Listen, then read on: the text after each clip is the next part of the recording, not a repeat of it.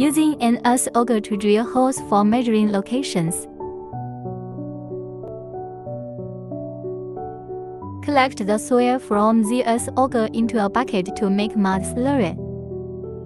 Remove stones and grass roots from the soil. Pour in an appropriate amount of water and mix slowly until it reaches a thick consistency.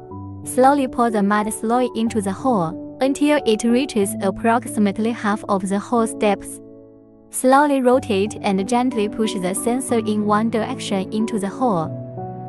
When there is a slight overflow of mud around the sensor installation is complete.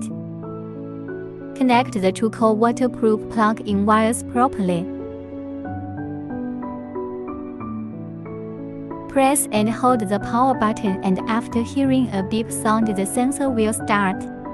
We recommend conducting monitoring after the mud returns to its normal state. View the data remotely through a mobile app or computer.